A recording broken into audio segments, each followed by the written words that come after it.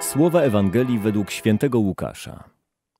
Pasterze pospiesznie udali się do Betlejem i znaleźli Maryję, Józefa i niemowlę leżące w żłobie.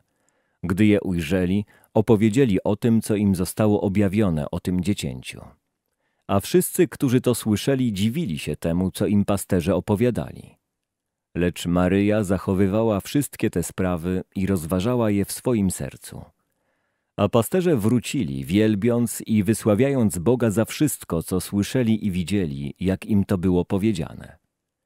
Gdy nadszedł dzień ósmy i należało obrzezać dziecię, nadano mu imię Jezus, którym je nazwał anioł, zanim się poczęło w łonie matki.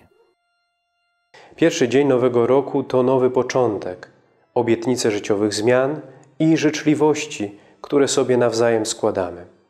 Kościół tego dnia oddaje cześć Najświętszej Bożej Rodzicielce Maryi oraz jej Synowi Jezusowi, który właśnie, jak przed chwilą usłyszeliśmy, ósmego dnia został obrzezany i nadano mu imię Jezus. Dzisiejsza uroczystość jest opłodzona w Kościele na pamiątkę uroczyście proklamowanego na Soborze Efeskim dogmatu wiary o Bożym Macierzyństwie Maryi. To najstarszy a jednocześnie najpiękniejszy i najwznioślejszy tytuł, jakim czcimy Matkę Jezusa.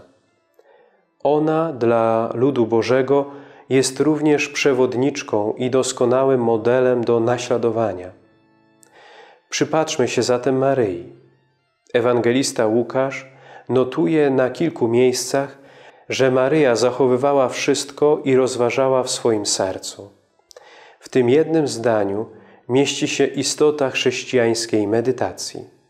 Mamy tak jak Maryja otwierać się na Słowo Boże, przechowywać je w swoim sercu jak najcenniejszy skarb i je nieustannie rozważać. Tak przyjmowane Słowo wydaje w duszy człowieka obfity plon. Popatrzmy na Maryję.